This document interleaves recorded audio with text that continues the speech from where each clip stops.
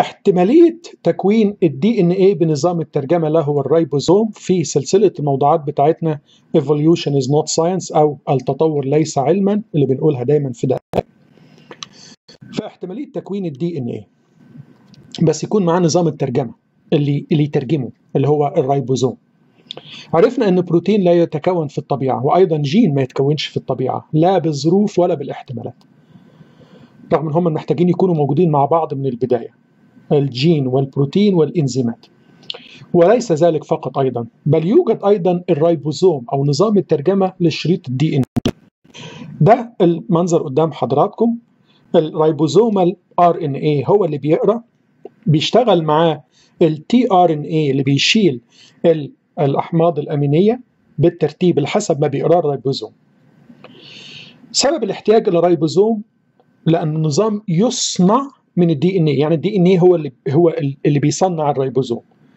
بس الإشكالية إن الريبوزوم هو اللي بيترجم ال DNA علشان يصنع أي حاجة.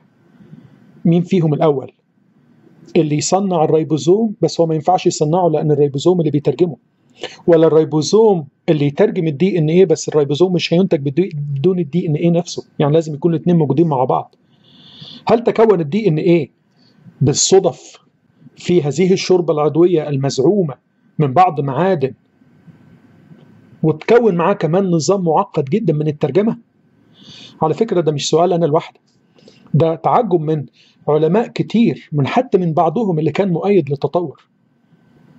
قال واحد من العلماء معترفا أو مقرا بهذا الأمر وهو دين بيقول إنه لغة ال DNA مثل أي لغة.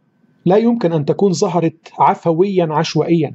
فأي حروف لغة رتبتها عشوائيا تنطق فقط لخبطة. ده نص كلامه اللي قدام حضراتكم.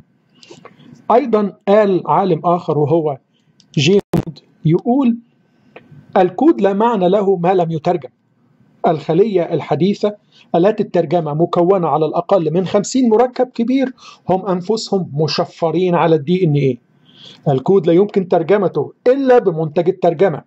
يعني عشان يطلع المترجم ده هو عايز يكون حد ترجم ال DNA عشان ينتج المترجم. وهو التعبير الحديث إن كل شيء حي جاء من بيضة. متى وكيف غلقت الدائرة؟ هي أصعب بكثير جدا من أن نتخيل. الأمر مش بالبساطة اللي بيقولوها أو بيخيلوها إنه شوربه عضويه ظهرت منها حياة لأ.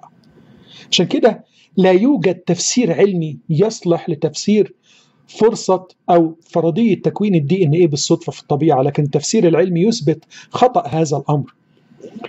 وأيضا ما ينفعش نفترض جدلا أنه تكون الدي إن إيه بالصدفة ونظام ترجمة بالصدفة لأن واحد منهم ليس له قيمة بدون الآخر ولا يعمل بدون الآخر ولا ينتج في الأصل بدون الآخر. ده بالإضافة للي قلناه في الجزء اللي فات. نفس الأمر ينطبق على الجينات الجديدة.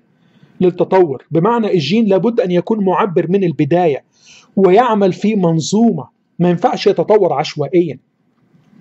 لأنه لابد من أن يعمل في نظام متفق مع هذا الجين. ما ينفعش يظهر جين جديد ليس له وجود سابق ويدخل في المنظومة مباشرة عفويا. ده يحصل لخبطة. فهل الطفرة ظهرت أولا؟ ولا النظام اللي تشتغل فيه الطفرة ظهر أولا؟ لأن كل واحد منهم بدون الآخر ملوش فايدة بل يكون قاتل. عشان كده الطفرة في الطب اسمها سرطان. كل ده يؤكد أن النظام لابد أن يكون خلق بدقة بمصمم رائع لأنه معقد جدا وأي من عناصره ما يكونش موجود لا يعمل بدون وجود النظام بالكامل. يعني عشان أوضح النقطة اللي أنا قلتها الأخرانية سمكة هيحصل فيها طفرات في جيناتها تتحول إلى برمائي. رغم إن أنا وضحت المرة اللي فاتت مفيش حاجة اسمها اكتساب جين ليس له وجود سابق لكن حتى لو تماشينا جدلا الجين الجديد ده مش هينفع يدخل في المنظومة مباشرة. لازم يكون مبرمج ذكي كاتب البرنامج بالكامل لهذا البرمائي مش سمكة تتحول لبرمائي. الشريط النووي ده يشهد على مصمم رائع هو اللي كتبه. لا يمكن الإضافة بالصدفة على تصميمه. حتى وجود أي تشابه في بعض الصفات الوراثية لا تشهد على أصل واحد بل تشهد على مصمم واحد. ما ينفعش أفترض البرنامج ال software بتاع ويندوز 7 حصلت شوية لخبطة فيه فأداني ويندوز 8 ما ينفعش. ده يشهد على مصمم هو اللي كاتبه. ولو أي تشابه يشهد على إن هو نفس المصمم. common design اتكلمت باختصار شديد لكن اللي عايز تفصيلات أكتر وتفاصيل أكتر في الموضوع ده بالمراجع وشهادات العلماء يقدر يرجع لل links اللي قدام حضراتكم على الشاشة هنا.